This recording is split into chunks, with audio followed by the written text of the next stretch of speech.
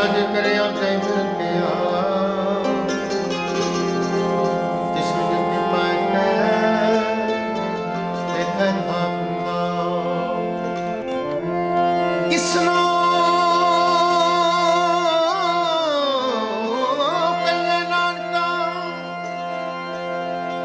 ਸਭ ਕੁਝ ਆਪੇ ਆਪ ਬੜੀ ਪਿਆਰ ਬਣਾਈ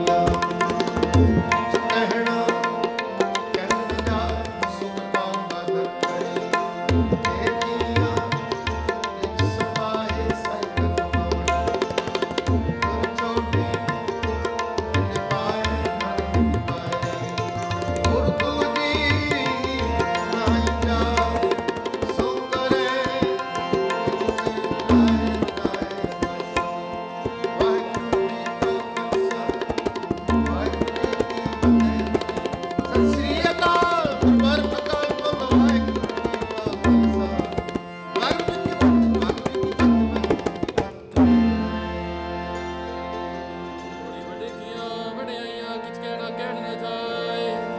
ਸੋ ਕਰਤਾ ਕਾਦਰ ਕਰੀਮ ਨੇ ਜੀ ਅਰਜ਼